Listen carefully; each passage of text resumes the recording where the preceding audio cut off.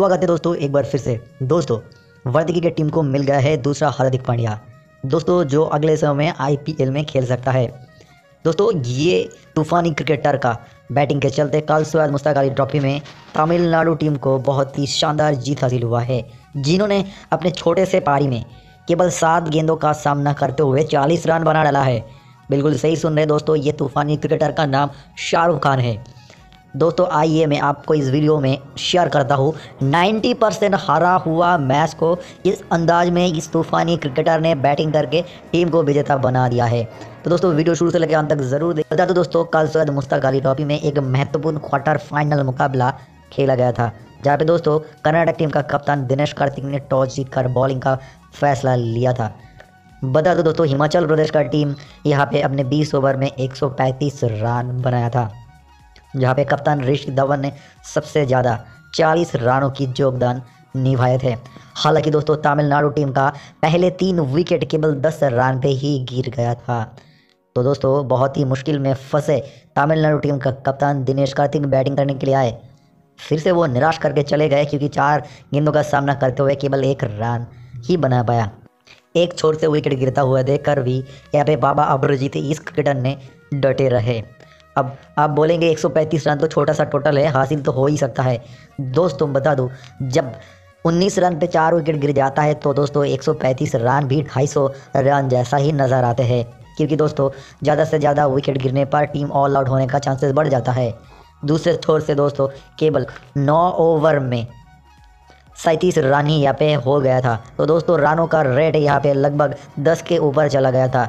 इस समय में दोस्तों, बाबा अपरजीत और साथ में शाहरुख खान के बीच में एक बहुत ही शानदार साझाई होते हैं। बता दोस्तों, बाबा अपरजीत इस मैच में 45 गेंदों का सामना करते हुए बावन रनों का पारी खेला। तो दोस्तों, अंतिम कुछ ओवर में शाहरुख खान ने बहुत ही आतशी बैटिंग कर डाला। जिन्होंने दोस्तों इस मैच में पाँच चौके और दो छक्के जड़ डाले। और दोस्तों, कुछ सिंगल और डबल रन भी लिया। जिनके बलबूत पे दोस्तों ये हारा हुआ मैच तमिलनाडु टीम ने जीत लिया है और सेमीफाइनल में पहुँच गया है। तो दोस्तों, शाहरुख खान एक बहुत ही अच्छे प्लेयर है जिनका उम्र 25 साल है और बहुत ही आतशी अंदाज में मैच फिनिश करना जानते हैं। तो दोस्तों, ये क्रिकेटर को आईपीएल में मौका देनी चाहिए कि नहीं?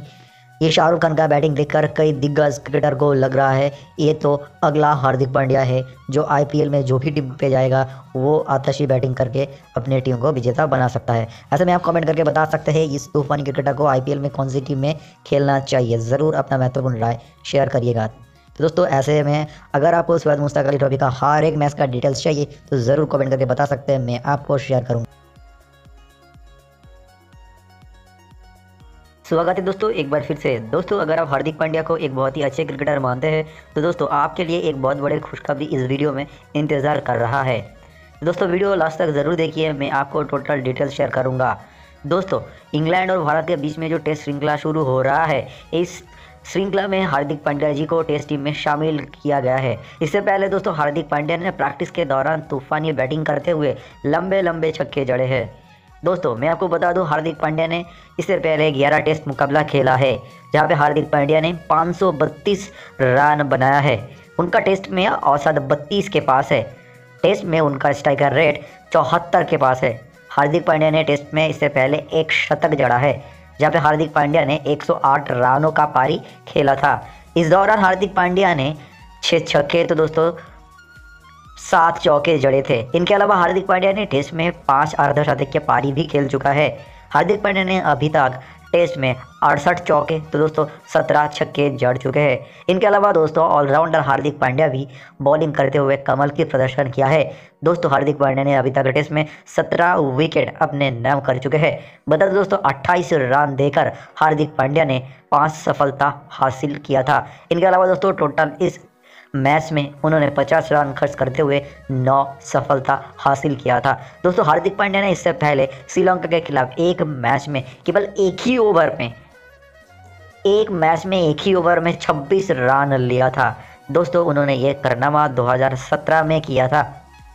बता दो दोस्तों, ज़रूरत पड़े तो इंग्लैंड के खिलाफ हार्दिक पांड्या ने तूफानी बैटिंग करके सबका दिल जीत सकता है। ऑलराउंडर हार्दिक पांड्या को फिर से हम इंग्लैंड के खिलाफ देख सकते हैं। दोस्तों, आप कमेंट करके बताइए, हार्दिक पांड्या को जो इंग्लैंड के खिलाफ टीम में मौका दिया गया है, क्या ये सही निर्णय है? क्या इंग्लैंड के खिलाफ हार्दिक पांड्या अपने तूफानी बैटिंग करके शतक ठोक सकते हैं कि नहीं?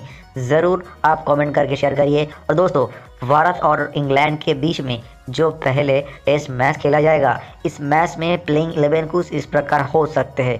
जहाँ पे दोस्तों ओपनर के रूप में यहाँ पे आपको रोहित शर्मा और शुभमन गिल होंगे। मिडिल ऑर्डर का बैट्समैन के रूप में दोस्तों यहाँ पे चेतेश्वर पुजारा, विराट कोहली और अजिंक्य रहाने होंगे। तो दोस्तों विकेट कीपर यहाँ पे ऋषभ पंत होंगे।